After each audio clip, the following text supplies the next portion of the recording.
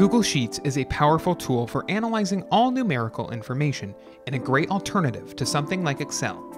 It can generate a graphical chart using the data you've entered, making interpreting them and gaining insight easier. If you're looking to add a chart to your spreadsheet in Google Sheets, you've come to the right guide.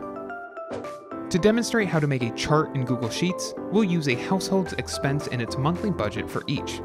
You can use this sample data to follow through, but feel free to create your own data. To make a chart out of the data, specify the data set that the chart's going to be based on by highlighting the data range you want to use. Select Insert, then select Chart. This opens the chart editor on the right side of your screen. To set your chart up, choose the chart type you want to use under Chart Type. Google Sheets will show you some suggestions that it thinks is suited for your data, but you're free to choose whatever type you want. After you've chosen the type, you can proceed to customize your chart's data by clicking the Customize tab to see your formatting controls. Your chart will get updated as you make changes. Once done, close the chart editor and drag the chart to where you want to place it. You might want to change the legend once you've created a chart. Google Sheets allows you to change its position, font type, font size, format, and text color by right-clicking the chart and selecting Legend.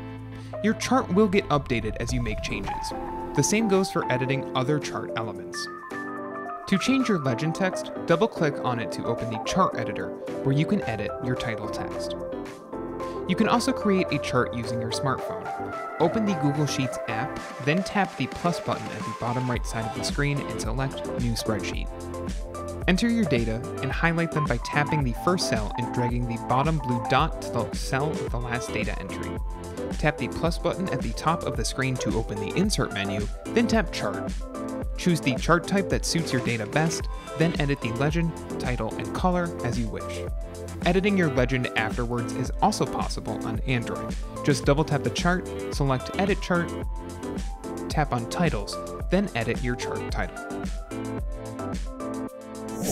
If you liked this guide, make sure you subscribe for all sorts of videos covering Google Sheets and other technology. And don't forget to check out one of these videos we think you might enjoy.